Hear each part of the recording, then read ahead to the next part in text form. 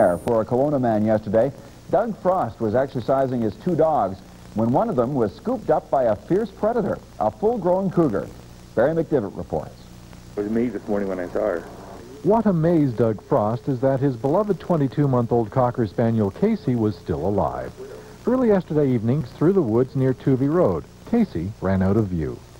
Suddenly I heard a couple of yelps, and I thought, oh no, she's got caught in some barbed wire. Frost ran to see what had happened and discovered his dog hanging limp in the jaws of a cougar. The big cat was in a tree about 20 feet off the ground. I, I didn't know what to do. I didn't want to throw anything and get the cougar all, all enraged as they, uh, and attacking me. And I didn't want, I couldn't leave the puppy there. So the next thing you know, she dropped the dog. Dog rolled down the hill, and I picked the dog up and ran down to the car and took her to the vet.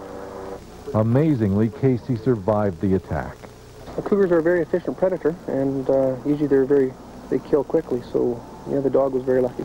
Frost says the cougar did not behave aggressively towards him. No, not at all. Just sat there and looked at me, and then when, when she dropped, after she dropped the dog, and I picked it up, I looked back to see if it was coming after me, and uh, it just stayed in the tree, just sat up there.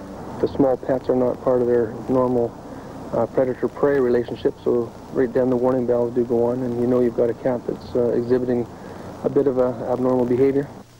Casey will be going for medical checkups every day just to make sure she didn't suffer neurological damage. Hopefully, she'll make a full recovery.